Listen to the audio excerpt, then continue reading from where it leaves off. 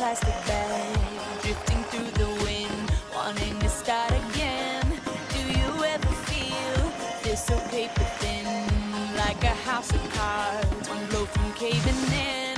Do you ever feel already buried deep, six feet under screens, but no one seems to hear a thing? Do you know that there's still a chance for there's a spark in you.